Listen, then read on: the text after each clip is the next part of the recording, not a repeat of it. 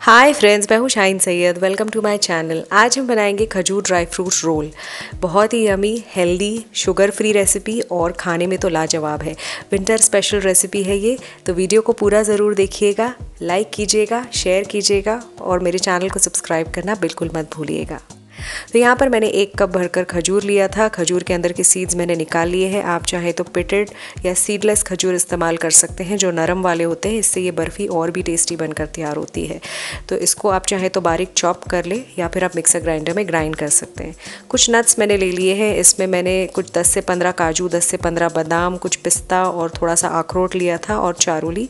आपके घर में जो ड्राई फ्रूट्स अवेलेबल है, आप वो ऐड कर सकते हैं। एक टेबल स्पून चॉप करके पिस्ता और एक टेबल स्पून मैंने यहाँ पर खसखस लिया है। यहाँ पर मैं इलायची का पाउडर ऐड करूँगी, इससे फ्लेवर एनहांस होता है। आप चाहे तो इलायची जायफल पाउडर मिक्स करके भी ऐड कर सकते हैं। तो गैस पर मैंने सबसे पहले यहाँ पर एक कढ़ाई चढ़ा दी है और इसके अंदर मैंने एक टेबल स्पून खसखस और एक टेबल स्पून पिस्ता जो चॉप किया था, फाइन चॉप, वो ऐड किया है। गैस का फ्लेम जो है वो आपने बिल्कुल लो मीडियम रखना है, क्योंकि खसखस बहुत ही जल्दी तेज़ी से ब्राउन होने लगता है और जलने के चांसेस हो सकते हैं। बस एक मिनट के लिए ही मैंने इसको रोस्ट किया था। हल्का सा कलर इसका गोल्डन दिखाई देने लगा था तो मैंने इसको बाहर निकाल लिया है। इससे इसका फ्लेवर भी एनहांस होगा और ये क्रंची हो जाएँगे। अब इसी पैन में मैंने बाकी बचा हुआ जो ड्राई फ्रूट्स था काजू बादाम, पिस्ता, अखरोट और चारोली वो ऐड किया है। और एक से दो ड्रॉप बस थोड़ा सा देसी घी ऐड किया था। इसको रोस्ट किया है लो फ्लेम पर बिल्कुल एक से डेढ़ मिनट के लिए। इसको ब्राउन नहीं करना है हमने। बस थोड़ा सा ये क्रिस्प हो जाए, उतना ही आपने इसको भून लेना है। बस कुछ ही देर में जैसे ये हल्के क्रिस्प हो जाएँ तो गैस का फ्लेम आपने लो कर लेना है और इसको हम बाहर निकाल लेंगे। ये देखिए। तो ये रेडी है, इसको भी हम साइड में रख देते हैं।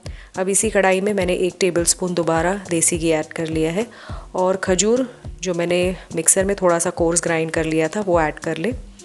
इसको आपने चलाते हुए कुछ देर के लिए भून लेना है। बस दो से तीन मिनट के अंदर अंदर ही ये बिल्कुल सॉफ्ट हो जाएँगे, इतना कि आप इसके रोल आराम से तैयार कर सकें और बिल्कुल हलवे की शक्ल में आ जाएगा।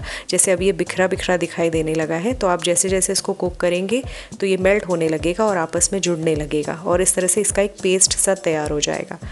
तो ये देखिए, ये बिल्कुल रेडी हो गया है अभी। बहुत ज़्यादा अगर आप कुक करेंगे तो ये बहुत ही जो रोल है ड्राई ड्राई सा तैयार होगा। इसीलिए बस एक बार ये इस तरह से सॉफ्ट हो जाए तो गैस का फ्लेम ऑफ़ कर ले सबसे पहले। फिर इसमें रोस्ट किया हुआ नट्स ऐड कर ले और इलायची का पाउडर ऐड कर ले फ्लेवरिंग के लिए। गैस का फ्लेम इस वक्त ऑफ़ है। बस इसको अब हमने अच्छे से एक से दो मिनट के लिए मिक्स कर लेना है। नट्स जो है, ये अभी बाहर ही हैं और बिखरे बिखरे दिखाई दे रहे हैं। तो ये धीरे धीरे मिक्स हो जाएगा और बिल्कुल डो की तरह फॉर्म हो जाएगा और ये नट्स बिल्कुल उसके अंदर मिक्स हो जाएँगे अच्छे से। तो ये देखिए, यहाँ पर ये सब कुछ अच्छे से मिक्स हो गया है और ये बिल्कुल रेडी है। तो इसको अब हम बाहर निकाल लेते हैं। इस वक्त ये बहुत गर्म है, आप इसको अगर टच करेंगे तो हाथ जल सकते हैं तो इसको थोड़ा अपने कूल कर लेना है। बहुत ज़्यादा ठंडा नहीं करेंगे, इतना कि आप उसको हाथ लगाकर शेप कर सके। इस स्टेज पर आप इसकी बर्फ़ी भी बना सकते हैं, आप चाहें तो लड्डू भी बना सकते हैं, लेकिन मैंने इसको सिलेंड्रिकल शेप में लंबा रोल किया था तो उसको मैंने इस तरह से प्रेस करके फिर इस तरह से रोल कर लिया है, ताकि उसको सिलेंड्रिकल शेप आ जाए। तो उसको अच्छे से पहले शेप कर लेते हैं हम।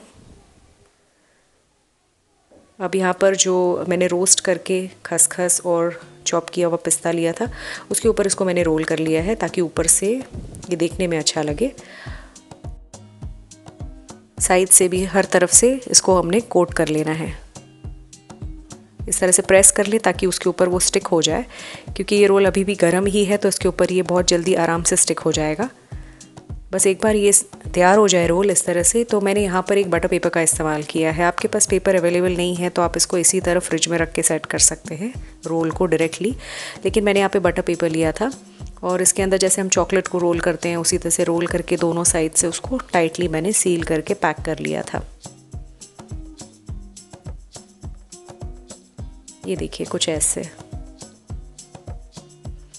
बस अब टेबल के ऊपर थोड़ा सा ऊपर से फिनिशिंग देने के लिए बहुत ज़्यादा दबाना नहीं है आपने, इससे शेप ख़राब हो जाएगा रोल का।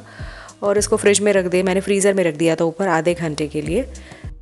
आप चाहें तो आप इसको नीचे फ्रिज में भी रख सकते हैं, एक घंटे के लिए रख दें और ये तैयार हो जाएँगे।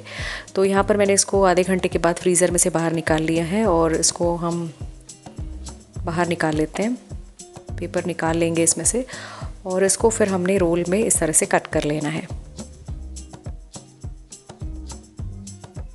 तो ये देखिए आप देख सकते हैं अंदर ड्राई फ्रूट्स जो हमने ऐड किए थे, वो इस तरह से क्लियरली दिखाई दे रहे हैं और साइड से जो हमने कोट किया था खसखस से, उसे ये देखने में बहुत ही अच्छा लग रहा है। तो आप इसको इस तरह से कट करके रख लें, आप इसको बाहर ही रख सकते हैं, महीना भर आप इसको रेलिश कर सकते हैं, ये जल्दी ख़राब भी नहीं होता है और ड्राई फ्रूट्स खाना विंटर में बहुत ज़रूरी है, खजूर के बहुत अपने फ़ायदे हैं, इससे आयन कंटेंट काफ़ी बढ़ता है। तो ज़रूर ट्राई कीजिएगा शुगर फ्री रेसिपी है। लाइक कीजिएगा शेयर कीजिएगा और मेरे चैनल को सब्सक्राइब करना बिल्कुल मत भूलिएगा। Thank you so much for watching my video take good care Bye.